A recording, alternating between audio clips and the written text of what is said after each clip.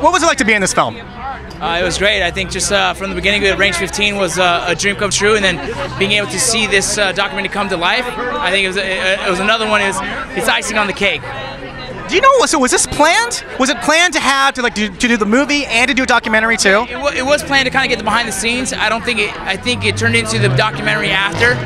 But we did want the behind the scenes. We want to kind of see the heart of the film that no one else is going to see. The Range 15 was more of a comedy. It was funny. But when you see the documentary, you kind of see the heart, the blood, the sweat, the tears that it came into, that, that it took to make the film. So. So this is going to be like more. It's like comedy to like drama, right? Uh, I would say I say it's everything. It's got your laughs, your cries, and everything.